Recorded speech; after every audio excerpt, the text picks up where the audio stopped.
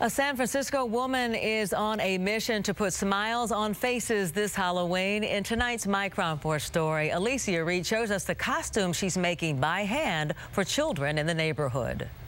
My name is Yvonne Israel O'Hare, and this is my KRON 4 story. I love it. It's so it gives me so much pleasure. Year after year, Yvonne O'Hare takes time out to make costumes for the children in her neighborhood. I love making costumes. I love creating. I love working with my hands.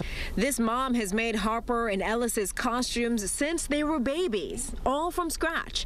This year, the girls chose to be a strawberry and a jack-o'-lantern. It's really surprising to see the way Tanti Vaughn makes these amazing costumes. Tanti Vaughn is the best sewing maker ever.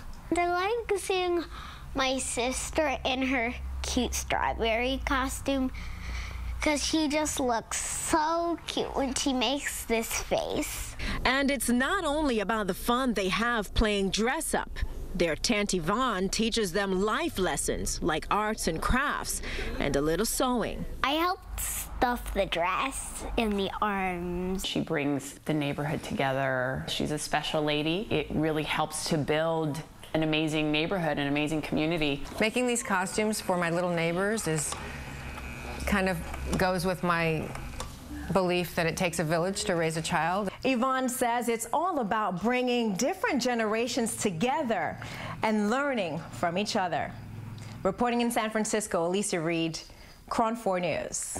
A viewer told us about this story. If you have a story that we should check into, you can visit our website at kron4.com, look under the My KRON 4 Story tab, and send us your idea as well.